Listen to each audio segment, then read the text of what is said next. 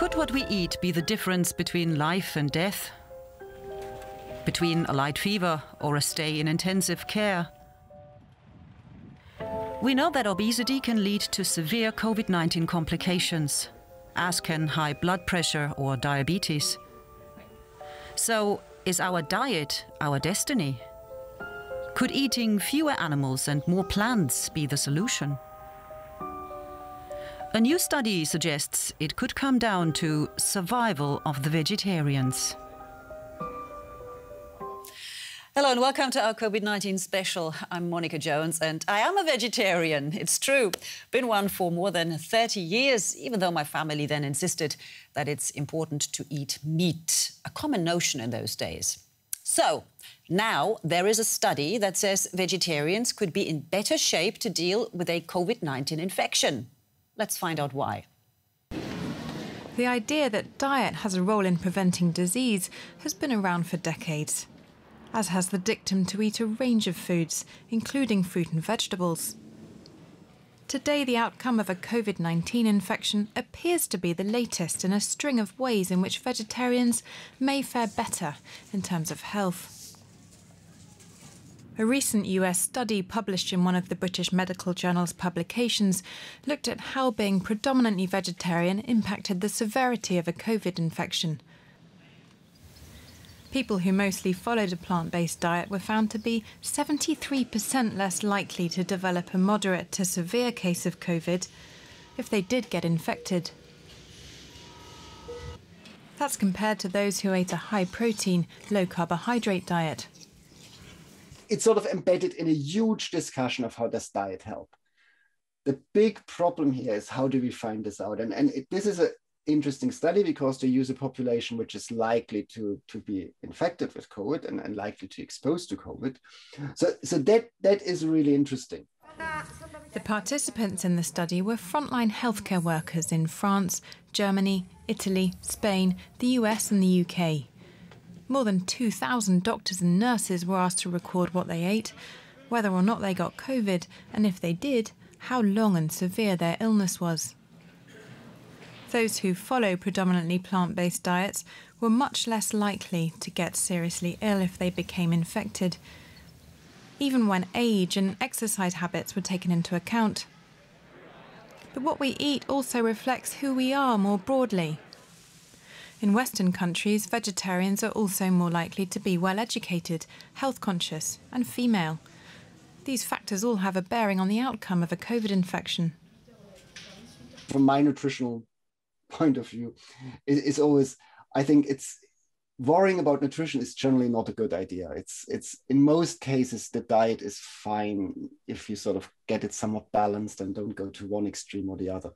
I think the, the risk to push people into eating disorders is, is often worse than than the benefit one could achieve.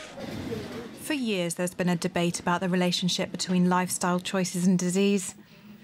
COVID is just the latest reason to do so. And it shows that a healthier diet doesn't necessarily protect against disease, but it can support immunity. And for more, I'm joined by Sheena Cruickshank. She's Professor of Biomedical Sciences and an immunologist at the University of Manchester. So very good to have you with us. And going by this report, um, I suspect that you're a vegetarian, perhaps a vegan. Actually, no, I am not a vegetarian or a vegan. I do eat a predominantly plant based diet, though, but I do enjoy some fish and some meat as well. Okay, so it's not all that bad. But diet-related health issues, uh, they certainly have been uh, quickly recognized as a huge risk factor. What exactly happens to our immune system when our diet is not healthy? Well, it's not really surprising that diet has a, an impact on our immune system because if you think about it, the ability to fight infections and the ability to get nutrients from the food that we eat are really fundamental for life. So they're very, very intertwined. And we know that uh, a very typical Western diet that's high in fat, low in vegetables, can cause something called meta inflammation. This is where your immune system gets out of balance and you have a kind of a low level inflammation, which surprisingly makes you less able to deal specifically with infections. So you are more vulnerable to COVID. Um, so, I mean, it is well known that uh, our Western style diet is uh, famously uh, unhealthy, lots of sugar, sausages, you name it, uh, all boosting, as you just said, our inflammatory levels, which is bad for our immune system. But why then has COVID 19 caused such havoc in countries like India, where a vegetarian diet is so much more widespread? Well, you've got to look at all the different factors that come into play there unfortunately, we've got a lot of poverty in India and we've got a lot of overcrowding. So that means it's very easy for the infection to spread. You may have people who are malnourished, you may have people who have other infections that make them less able to fend off the disease. And we've had issues around um, a lack of treatment resources, oxygen, etc. So there's a, an infrastructure issue there. So COVID's not just about having a diet, it's also about looking at the other ways you can mitigate your risks, looking at how ventilated your spaces are, looking at how much close contact you've got with people and the types of activities that you do. Right. Now, now if people uh, watching this start to panic and think, oh my God, I have not been eating healthily, I have to change that. Last year, British uh, Prime Minister Boris Johnson launched an Eat Healthy campaign as part of the United Kingdom's fight against the pandemic. How long does it take to have any effect? Any, anything you can report there already?